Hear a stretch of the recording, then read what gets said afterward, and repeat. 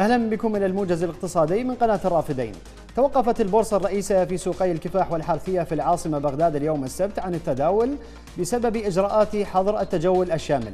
وقالت مصادر صحفية إن أسعار بيع وشراء العملة استقرت في محال الصيرفة في الأسواق المحلية التي فتحت بعضها أبوابها في بغداد عن سعر بلغ نحو 147250 دينارا عراقيا.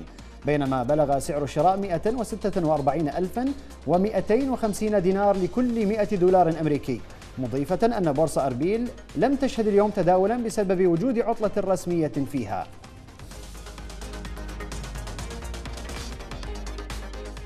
قال النائب في البرلمان محمد الشاع السوداني أن نحو 17 مليون عراقي تضرروا من قرار الحكومة والبرلمان بخفض سعر صرف الدينار العراقي. وأضاف السوداني أن أكثر من مليون وأربعمائة ألف أسرة تحت مستوى خط الفقر تستلم إعانات نقدية من شبكة الحماية الاجتماعية أي ما يصل إلى نحو ستة ملايين شخص يضاف إليها نحو مليون طلب للشمول الجديد ما يضيف نحو أربعة ملايين شخص إلى ما دون خط الفقر. دعت عضوة اللجنة الاقتصادية النيابية ندى شاكر جودة إلى إنشاء وحدات لضبط المواد المستوردة. وفرض ضرائب على السلع في وسط وجنوب العراق. وقالت أن التهريب لم يتوقف حتى الآن من كردستان العراق ما يؤدي إلى ضرر بالغ للمنتوجات المصنعة في بقية المحافظات. مبينة أن من غير الممكن إعطاء رسائل تضمين للصناعات المحلية والمستثمرين دون حماية لمنتوجاتهم أمام المستورد. ودعت النائبة إلى إنشاء وحدات لضبط المواد المستوردة في المحافظات الوسطى والجنوبية. وفرض ضرائب تسهم في دعم خزينة الدولة. وتدعم المنتوجات الوطنية من الناحية التنافسية ويعاني العراق من تدفق المواد المستوردة والممنوعة من الاستيراد التي لا تخضع لسيطرة الحكومة.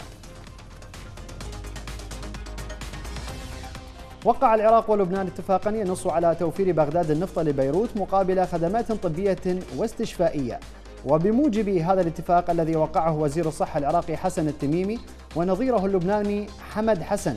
يتلقى لبنان نحو 500 ألف طن من النفط العراقي مقابل مشاركة خبراء لبنانيين وفرق طبية لبنانية في إدارة مؤسسات طبية عراقية. فضلا عن التدريب الطبي. في وقت تشهد فيه المؤسسات الصحية العراقية تهالكا كبيرا ونقصا حادا في الأطباء والأدوية والتجهيزات الطبية. أعلنت إدارة معلومات الطاقة الأمريكية انخفاض صادرات النفط العراقية للولايات المتحدة إلى نحو 800 أو 88 ألف برميل خلال الأسبوع الماضي.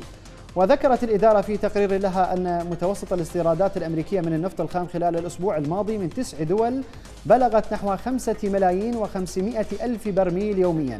وأضافت أن أمريكا استوردت النفط الخام من العراق بمعدل 88 ألف برميل يوميا. منخفضة عن الأسبوع الذي سبقه والذي بلغ نحو 105 آلاف برميل يوميا. واصلت أسعار النفط ارتفاعها رغم الأنباء عن توصل مجموعة أوبك بلس إلى اتفاق بالتخفيض التدريجي لتخفيضات الإنتاج بدءا من شهر آيار المقبل. وارتفع الخام الأمريكي غرب تكساس الوسيط بنسبة 3.77% ليسجل 61.45 دولارا للبرميل. في حين صعد خام برنت بنسبة 2.12% ليسجل 64.86 دولارا للبرميل وفقا لبيانات شبكة بلومبرج الأمريكية.